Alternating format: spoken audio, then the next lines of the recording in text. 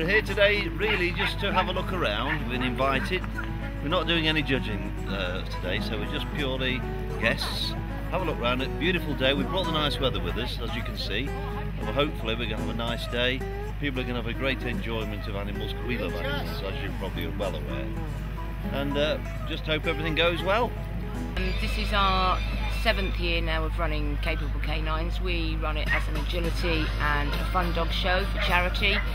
It was set up in memory of one of my old dogs, Kim, who sadly passed away. We have a good turnout um, for the Fun Dog Show, both Saturday and Sunday afternoon. Capable Canines is now um, just over 10 years old.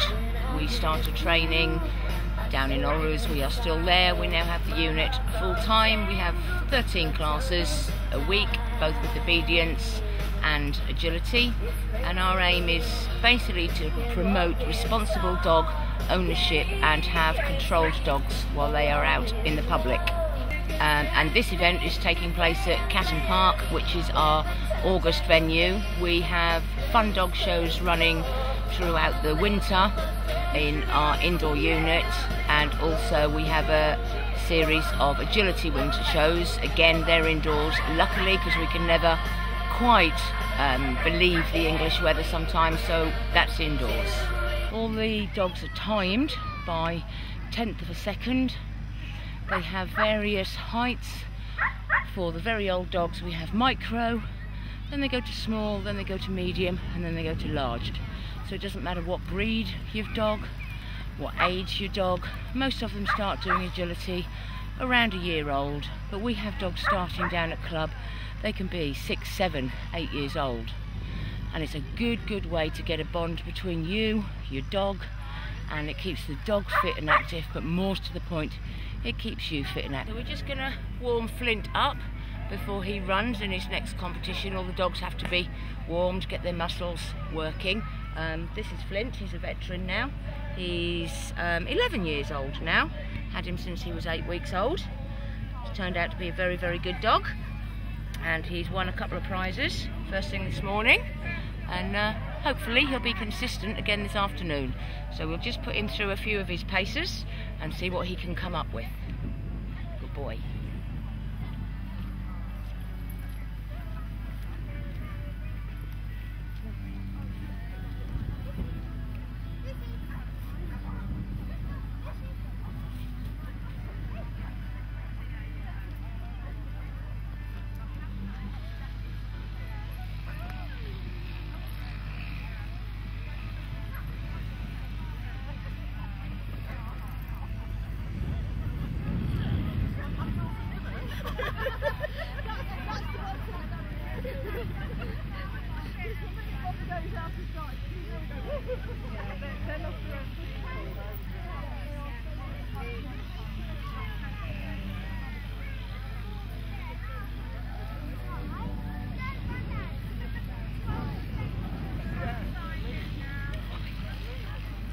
Um, our next Fun Dog Show is the 19th of August.